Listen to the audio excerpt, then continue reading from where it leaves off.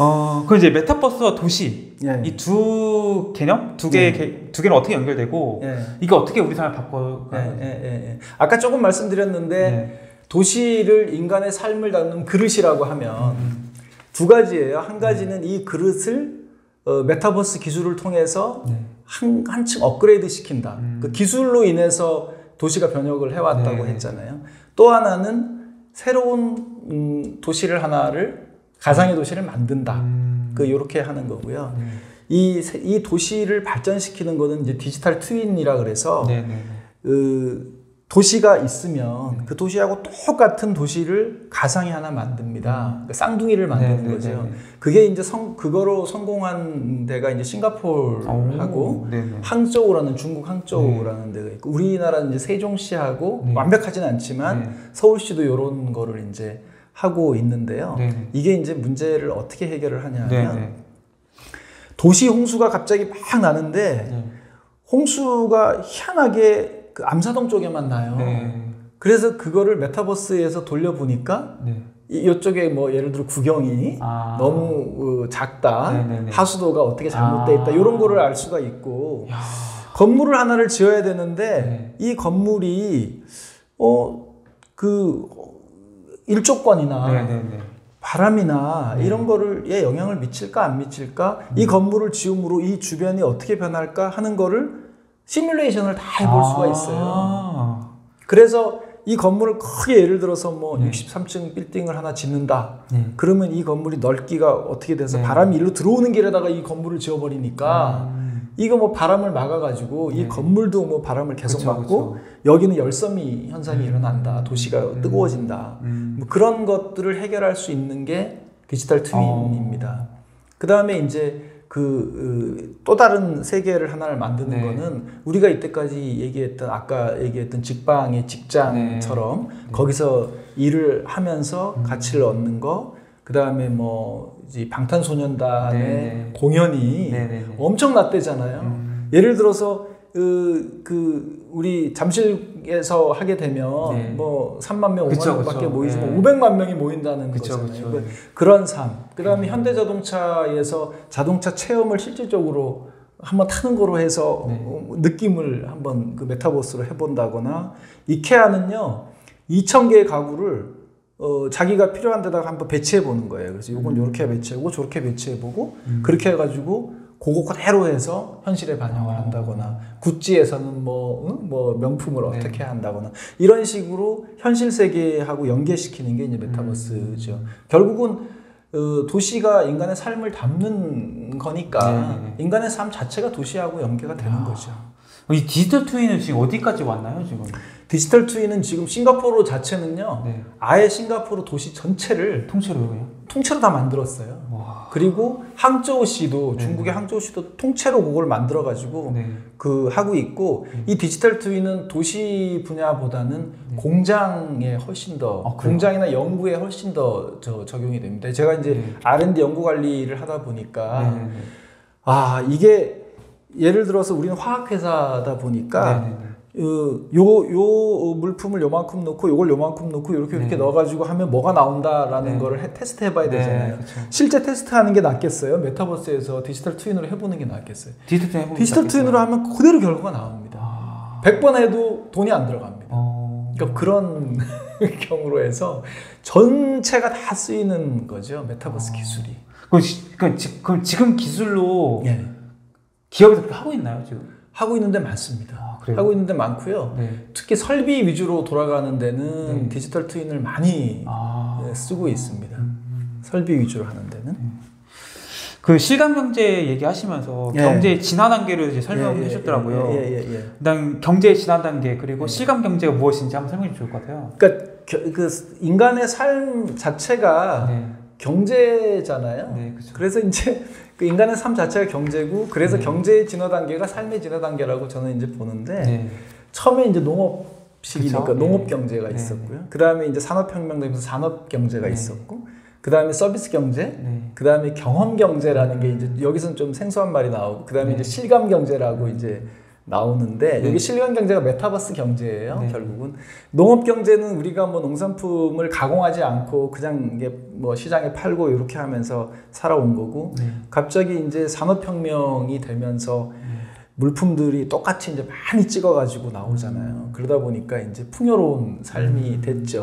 그러다 보니까 어, 어떤 사람은 상품을 했는데 그냥 집에다가 던져주고 가는 사람이 있고 네, 네. 어떤 사람은 어, 벨 딱 눌러가지고 요거 이렇게 네. 설명해 주는 사람이 있고 그게 이제 서비스죠. 그렇죠, 서비스죠. 내가 서비스를 얼마나 잘 받느냐에 따라서 이 물품 물건이 많으니까 네, 그쵸, 이거를 그쵸. 고르는 게 이제 네, 서비스 그쵸. 경제고 경험 경제라는 거 그거보다 한 단계 더 음. 어, 해서 normal한 일반인들이 느끼는 게 아니라 내가 느끼는 음, 내가 느끼는 그 혜택 네. 느낌 네. 이런 거를 이제 하는 거거든요. 예를 들어서 이제 그 스타벅스 얘기 굉장히 많이 네, 하잖아요. 네. 스타벅스 저기 뭐 이 홍보는 아, 네, 아니고 네, 네, 네.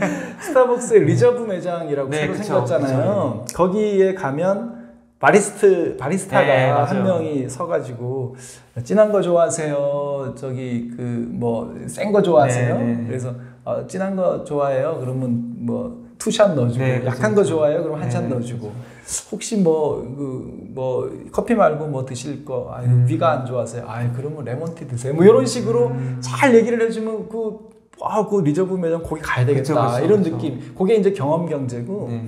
실감 경제는 그야말로 메타버스 경제고 내가 실감을 해보는 거 요즘은 맛도 아. 느끼게 한대요. 아 진짜요? 네, 그래서 어, 물건을 살때 네.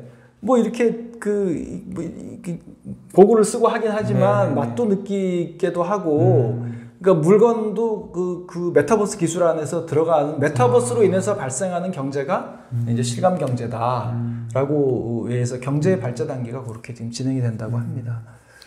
그 아까 뭐 직방 얘기하면서 proptech 말씀하셨잖아요. 예, 예, 예, 예. 이 proptech라는 건 결국 부동산하고 IT 기술 결합인 맞습니다, 건가요? 맞습니다. 어. 그럼 이제 이 proptech가 갑자기 왜 이렇게 급부상을 한 거예요? 아 부동산 시장이 네. 정말 폐쇄적이고 공급자 위주예요. 음. 부동산 시장에 종사하는 사람들은 우리나라에서는 그럴 수밖에 없었다고 생각을 하는 게 네네네. 아까도 말씀드렸지만 아파트가 막 생겨났잖아요. 네. 그래서 이제 우리가 일기 신도시를 생각을 해보면 네. 이제 분당하고 일산하고 그쵸. 이제 만들 때 그때 뭐 엄청나게 많은 그 공급이 이루어졌잖아요. 그쵸. 네. 그러면 만든 사람 마음이잖아요. 네, 그쵸. 만든 사람 마음이에요. 이게 33평이면 네. 33평에 내가 이렇게 이렇게 꾸몄어. 네. 너 살래 말래? 네, 그쵸, 그쵸. 살 사람은 분양 신청하고 네. 안살 사람은 안 와요. 네. 그렇게 돼서 너무나 폐쇄적이고 공급자 위주예요. 음. 소비자의 어떤 어, 아, 니즈는 필요가 없어요. 그쵸, 그쵸. 그냥 살람 살고 안 살람 사지 마 이런 식으로 돼 있고 폐쇄적이었는데 그게 이제 어, 변화가 조금씩 오는 거죠. 음. 가장 늦게 보수적이어서 가장 늦게 지금 오고 있는데 아. 이게 이제 어떤 식이냐면 처음에는 예- 예전에 부동산 114라 그래가지고 네네네. 중개인을 거치지 않고 내가 이제 들어가 가지고 검색을 해봐요. 그쵸, 그쵸. 일산에 어디 가면 뭐가 있고 네. 뭐 여기 금천구에 무슨 아파트는 뭐 지금 매물이 얼마 나와 있고 금액이 얼마고 그래서 아 대충 알고 있었잖아요. 그때도 굉장히 좋았죠. 그게 이제 시초인데 네. 요즘에는 어느 정도로 발전을 했- 하냐 하면 그 제가 아파트 단지를 안 가보고 아파트 단지 입구에서 이렇게 봤을 때 네. 아, 주변이 다 나와가지고 뭐가 있고 뭐가 있고 다 내용이 들어가 어. 있고요. 아파트에 엘리베이터를 타니까 쫙 올라가면서 그 느낌 그대로 나오고요. 어. 아파트에 들어갔어요. 그래서 어, 이 거실에서 네. view를 한번 보고 싶어요. 아. 거실에서 층마다 view가 다, 다 아, 다르잖아요. 그다 다르죠. 그 다음에 안방 가서 view가 또 다르고. 그쵸. 뭐 안방에 뭐가 있는지 이렇게 보면 다, 다 나오고. 음. 거기에다가 계약까지. 음. 그러니까 중개인을 거치지 않고 계약서까지 나와서 계약까지 다 이루어지고 돈까지 음. 어, 계산할 수 있는 뭐 그 정도 등기까지 이루어질 수 있는 게 음. 메타버스의 지금 proptech 아. 기술인데 이게 지금 굉장히 아주 급성장하고 있습니다. 이거는 굉장히 저는 좋다고 보는 게 네네. 소비자 입장에서의 이제 부동산에서의 처음으로 소비자 입장을 고려를 아. 한 거예요. 공급자들이 마음대로 못하게 그렇게 한 거죠. 그럼 이제 막 발을 뗀 단계인가요? 그 아닙니다. 지금은 그래도 많이 발전. 많이 발전했어요. 네, 많이 발전하는 단계고 네. 어, 회사에서도 이제 proptech 해서 이제 그 가입하라고 하는데 네. 그 회사 부동산 관련된 업, 저 회사들이 아주 기하급수적으로 늘어나고 어. 있습니다. 그 아까 이제 도시 sprawl 잠깐 이제 말씀하셨잖아요. 예, 예, 예. 이 도시 sprawl 개념이 무엇이고 예. 또그 이제 문제점을 해결할 수 있는 예. compact city라는 게 뭔지 예, 설명해 주실 것 예, 같아요. 예, 예, 네. 예. 그러니까 도시 sprawl은 어, 1950년대에 그 미국에서 그 이제 나온 건데요. 네, 네, 네. 1950년대는 이제 대공황을 거치고 난 다음에 이제 쭉 오면서 그 갑자기 50년부터 60년까지 60 몇 년까지 한 20년 동안 네. 굉장히 호황이 있었대요. 매년 음. 5% 정도 이렇게 성장을 네. 하고 그러다 보니까 중산층의 천국이 된 거죠. 중산층들이 굉장히 잘 살게 되다 보니까 네. 시내에 있는 중산층들이 돈도 많고 하니까 자기들의 또 그런 거 있잖아요. 우리 은퇴하고 뭐 나는 자연인이다처럼 네. 은퇴하고 좋은데 한번 가고 싶다 뭐 이런 생각을 해서 이제 그 외곽으로 이제 가서 음. 자기 집을 짓기 시작하고 전원주택을 짓기 시작한 거예요. 네. 근데 그게 붐이 일어나 버리니까 네. 이 규칙적이지 않고 불규칙적으로 저층 주거지가 너무나 막 음. 너무나 확산이 되는 그런 네. 꼴이 됐고 그게 이제 도시 스프레이라고 하는데 우리나라는 그게 처음에는 미국하고 비슷한 양상으로 저층으로 가다가 우리는 이제 사람들이 많잖아요 인구 네, 밀도가 그러니까 이제 고층으로 가면서 그야말로 난개발이란 이제 그 시작이 됐는데 어 제가 이제 용인에서 연구소에도 근무를 하고 이제 하다 보니까 용인에 91년도 입사해서 용인에 이제 R&D 연구소에 입사를 했는데 네. 그때 용인 인구가 24만 명이었어요. 음.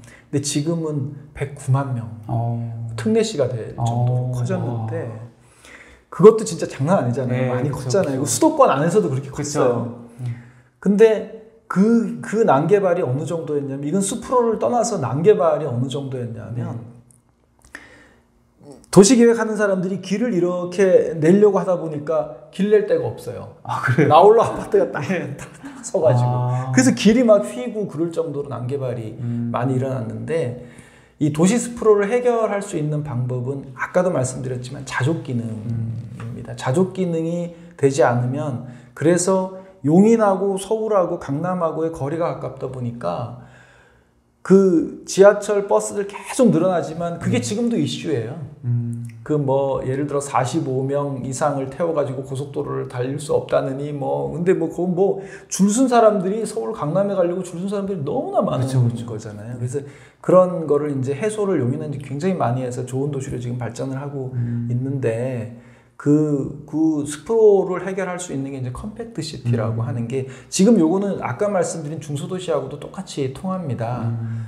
어, 어줍지 않게 신도시를 자꾸 개, 개발을 네. 하는 것보다 기존에 있는 도시를 정말로 그 밀도 있게 음. compact하게 구성을 하고 음. 그 다음에 외곽은 좀 보존하자는 건데 네.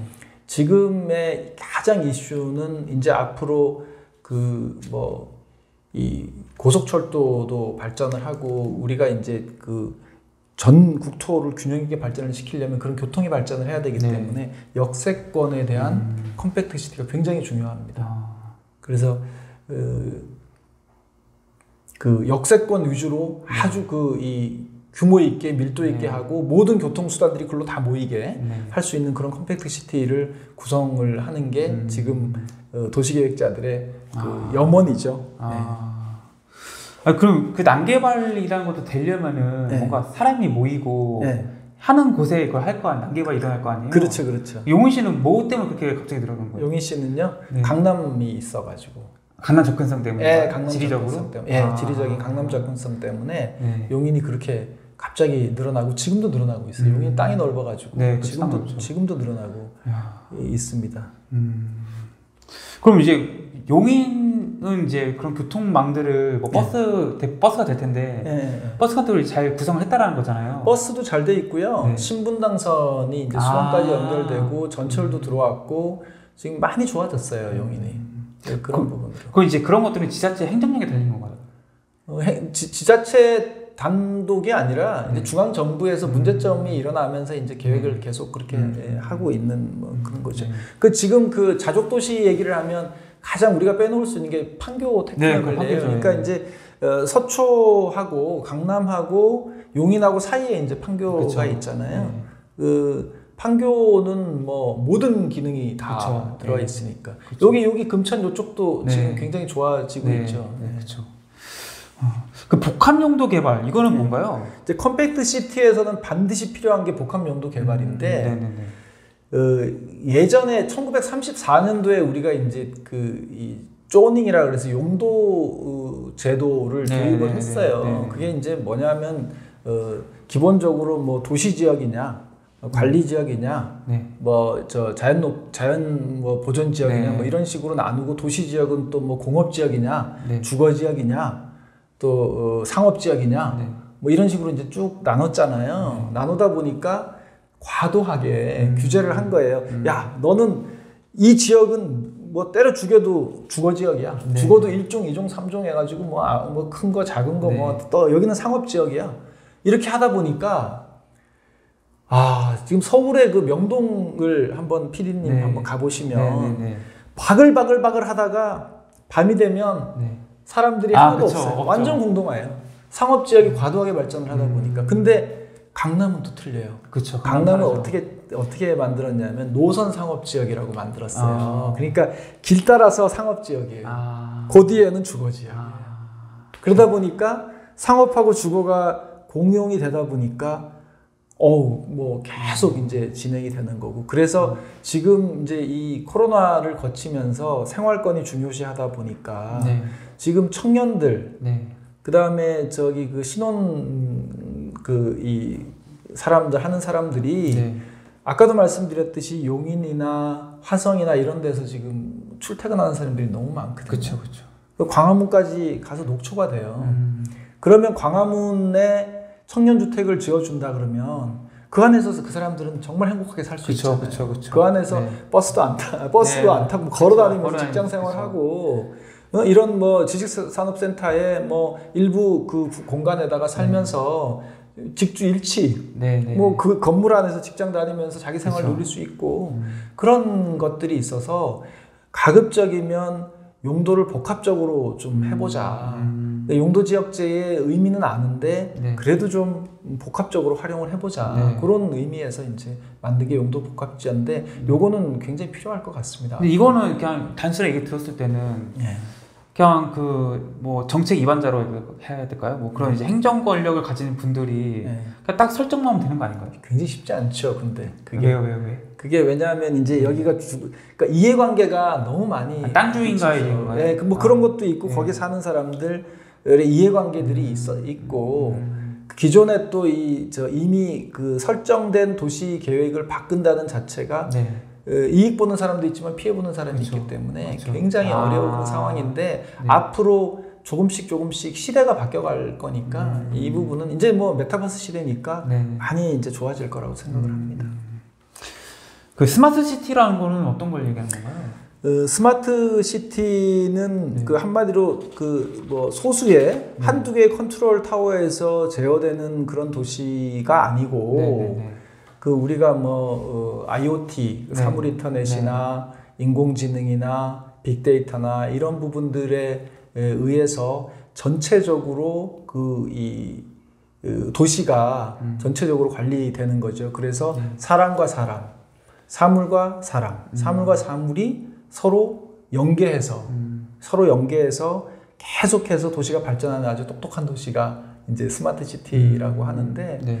필요 요건이 보면 일단 smart city는 요- 요게 이제 smart city의 메타버스 기술이 굉장히 많이 네. 들어가는데요. 일단 네. 스마트 교통 부분이 있는데 네. 스마트 교통은 이제 자율주행차가 네. 될 거고 드론이 이제 그 음. 택시처럼 어, 운행을 할 거고 어, 그 다음에 뭐 공유, 공유로 해서 다 네. 되는 거고 그리고 그런 공유차를 이용을 하면서 그냥 이동만 하는 것이 아니라 네. 거기서 쇼핑도 하고 뭐 각종 메타버스의 음. 그, 그 기술을 다 이용을 할 수 있는 뭐 그런 부분이 되다 보면 네. 도시계획 쪽으로는 또 어떻게 바뀌냐면 이게 이제 그 자율주행이 되고 그 정해진 주- 저기 그 구간으로만 가잖아요. 네. 그 다음에 이 모든 모든 교통들이 연결돼 가지고 지금도 뭐 어, 기차 탔다가 네. 저 지하철 탔다가 버스 탔다가 이렇게 쭉 연결되게 그렇게 이제 완전히 이게 최적화가 되면 공간이 많이 남아요. 음. 주차장이 필요가 없잖아요. 음. 내 차를 가질 필요가 네, 네, 없으니까 그쵸. 공유하면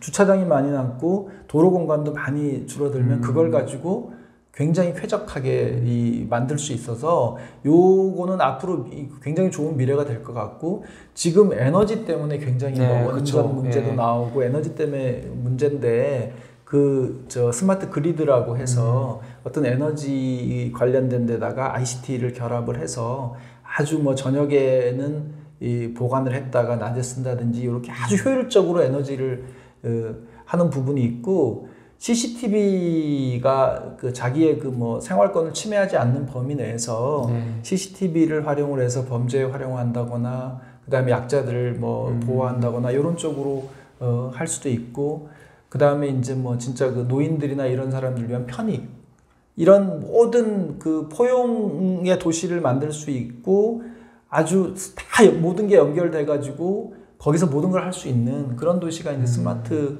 도시인데 요런 그 스마트 시티에 필요한 게 메타버스 기술이고 음. 그게 잘 접합이 돼야 된다고 저는 생각을 합니다. 네, 끝으로 이제 구독자분들에게 좀 해주고 싶은 말씀 있으신가요? 네, 뭐 어떻게 얘기하다 보니까 메타버스 네. 얘기도 조금 들어갔지만 네. 이제 주로 이제 도시 얘기를 많이 했는데 네. 어, 지금 도시 문제가 굉장히 이제 심각하고요. 어, 그거를 이제 메타버스로 그 좀 개선을 하려는 그런 노력들이 있어서 네. 제가 이 책을 어, 쓰- 발간하게 됐고 현재까지는 많이 어, 지금 읽혀지고 네. 있어서 너무 감사합니다. 초보 음. 작가가 그것도 이제 현직에 있는 초보 작가가 네. 이렇게 쓴 거를 네. 읽어줘서 너무나 감사 하고 오늘 이제 이렇게 대화를 하면서 우리 PD님이 음. 너무 말씀을 잘 해 주셔가지고 잘 했는데 어, 이 이것 때문에 혹시 또아 이게 너무 도시의 이론의 네. 음. 뭐 영매인 게 아닌가 하는 생각이 들 수도 있는데 음. 한번 좀 읽어보시면 네. 감사하겠습니다.